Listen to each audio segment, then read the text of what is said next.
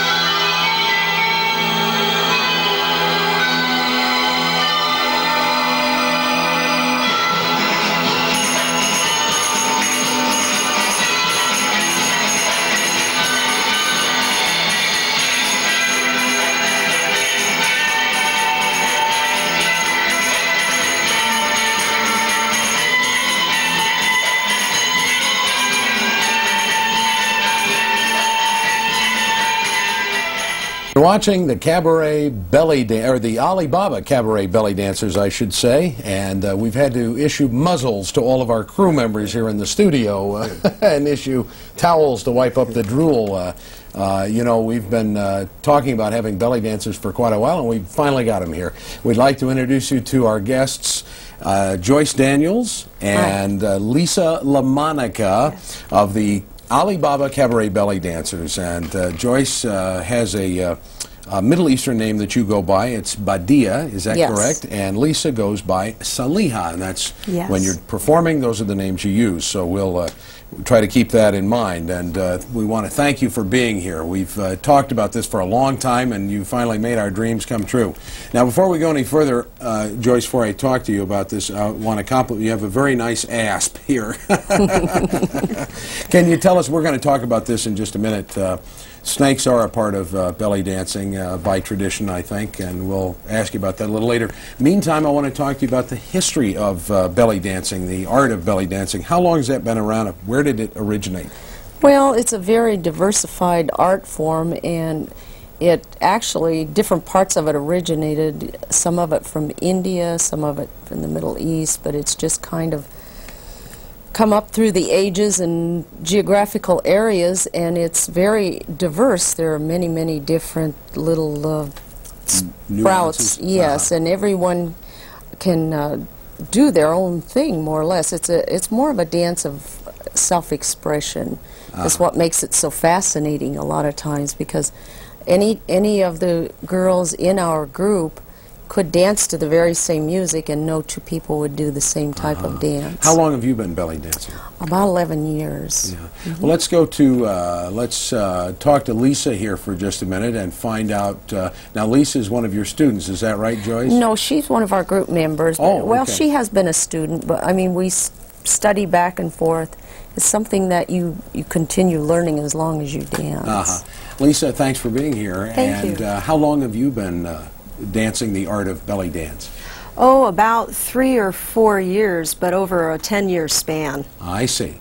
And do you uh, do you perform regularly uh, somewhere, or is this just kind of a hobby with you? Well, currently I'm not, but we take anything that we can find that um, is a good opportunity for us to get out and perform. Uh-huh. And uh, we occasionally do get some things that have a little bit longer contract period of time. I but see. currently like a restaurant I'm not. or something like right. that. Yeah. Well, very good, Joyce. Uh, the um, uh, well, I can't, the attention is just focused and riveted here on what you're holding, and this is uh, this is a, a snake that you use as part of your uh, performance. And uh, let me ask you, first of all, do you have a name for the snake, and what kind of snake is it? Uh, this is a Colombian boa. A Colombian boa. Yes, Has he been passed by uh, customs and all that? uh, Well, coming across the let's border. see. He didn't bring any cargo with no, him. No, he? it's an American Colombian Oh, oh, boa. I see, okay. Born in this country, but Uh-huh. you know, um, and they are one of the more tractable types of snakes. Some some dancers that use snakes use the boas, and others will use the different type of pythons. Uh-huh. But uh, like any other animal, once you get them, you know, you have to learn how to take care Oh, of them. sure. And they do have different personalities. This particular snake is one of the most tractable that I've ever come Now, across. how, how old is Samantha? I believe she's probably about 14. About 14. How Mm-hmm. long do they live?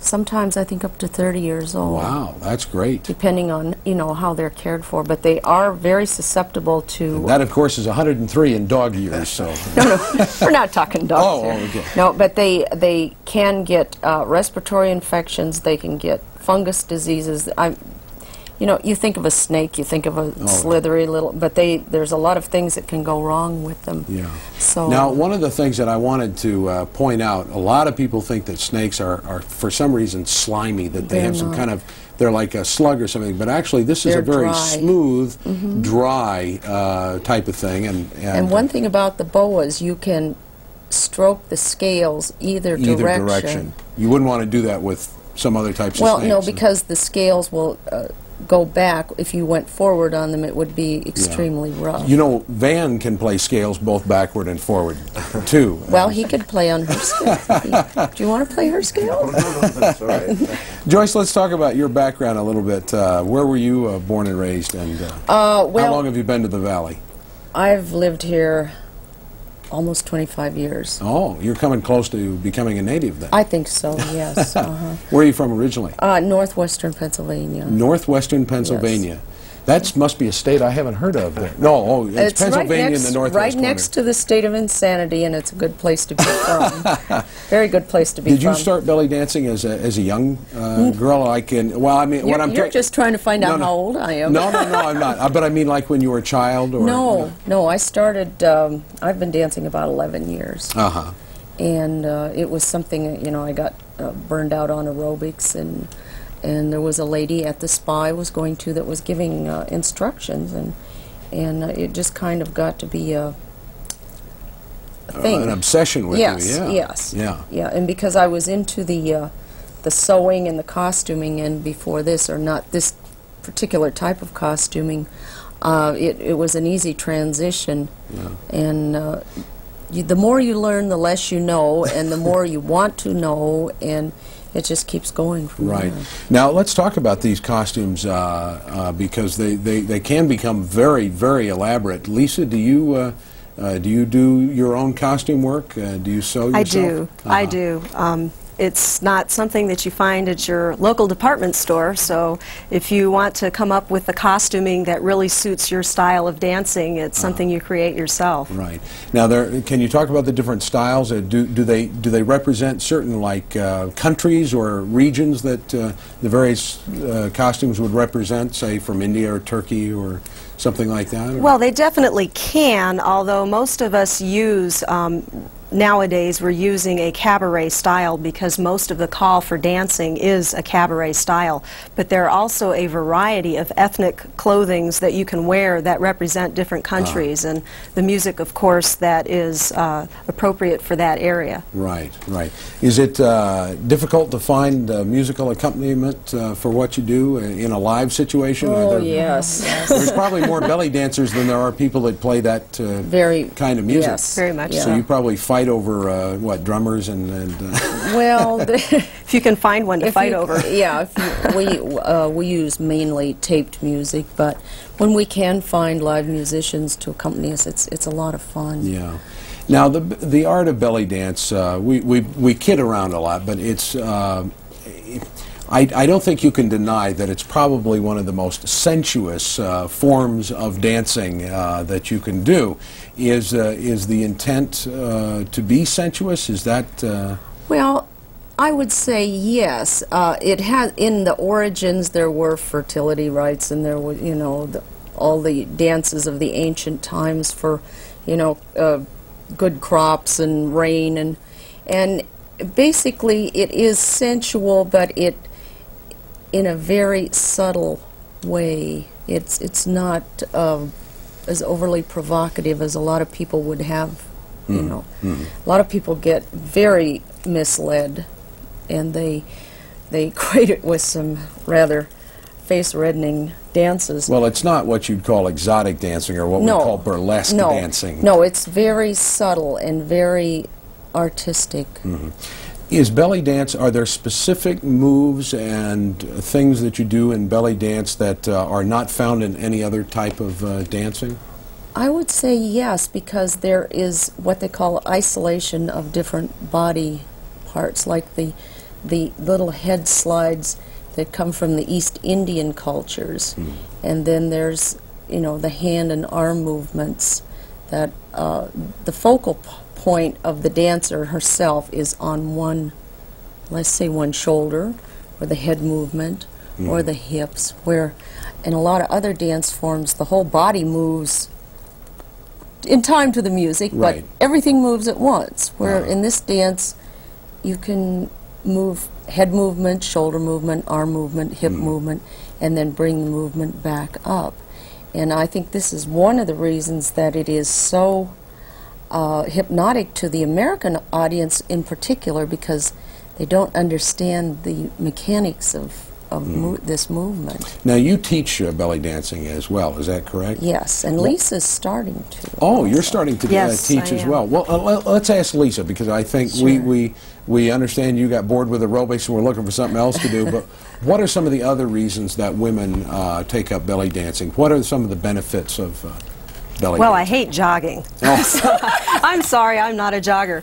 So uh, I wanted to find some sort of an activity that I could feel comfortable with, that I felt that I could actually stick with, that would be good for me, get me motivated, help me feel that kind of an energy that we need to survive in today's day and world.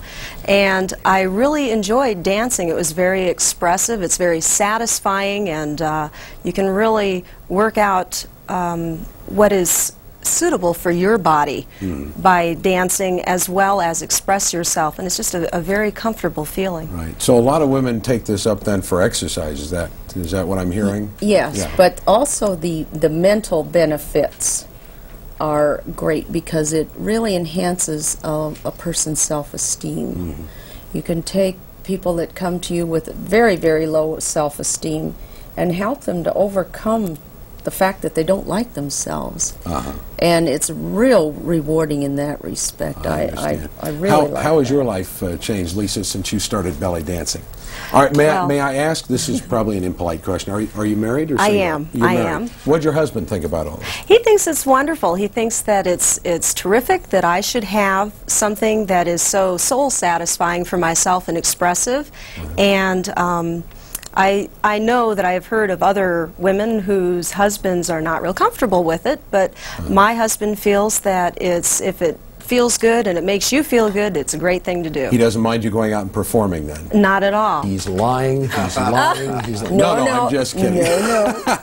It See, I get a rise out of No, Joyce. it takes a very secure man to let you do that. I see. we run into a lot of insecure men I in this form. Well, now does belly form. dancing help you attract? Uh, what do guys, you know, when you're out dancing, do they? Uh, are they? Are, are we all animals? Is what I'm saying. Thank God, no, really. Uh, most people are very appreciative, and it's it's very rarely that we run into a rude, suggestive person. Uh-huh.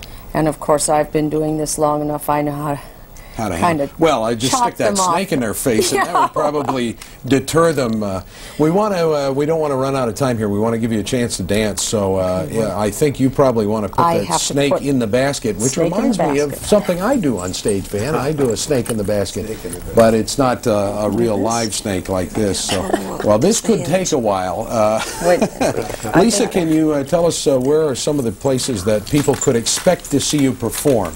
Uh, besides, uh, let's say, a restaurant, what other types of places might... Uh, Well, there are a lot of cultural events around the valley that um, we participate in. Um, I, with this troupe and other troupes, have done things such as um, Hello Phoenix, or sometimes they have some other cultural festivals going on that you can find the dancers at. And, um, and bellygrams are popular, belly too, is that right? very Now, that's popular. What, uh, uh, would a wife send one of these to her husband? Uh, Absolutely, absolutely. Or uh, sometimes we even get them the other direction if a husband is trying to give his wife a message that maybe she ought to take up this hobby, this I wonderful I hobby. I think the last time you and I worked together was at a lady's birthday party at a private home. Do you remember that?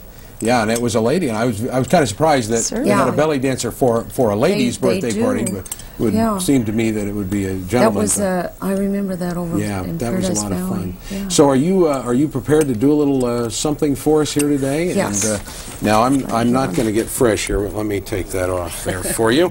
And uh, we're going to present Badia. And uh, if you uh, want to take center stage, we'll uh, look forward to seeing belly dance. Van, pay close attention. Now, this is what you've been waiting for. There we go. And we're going to give a test. Okay. Very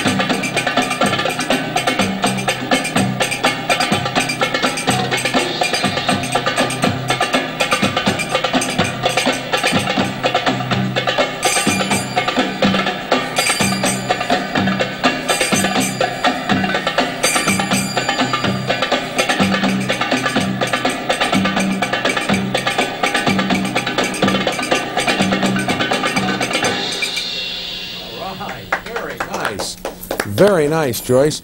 And uh, now we're going to be favored by a dance from Saliha, and you want to make sure you have your mic unclipped there. And this is Saliha. Now we, you'll be using the finger cymbals as well. That's interesting the way you can get different. Uh, either they'll they'll ring, or you can mute them. Yeah. Put your finger together. Aha, that's okay. That's how that makes the different sounds, that sort of thing. All right. Ooh, we're unwrapping the veil, man. down, fellas, down. Okay, here we go. Saliha.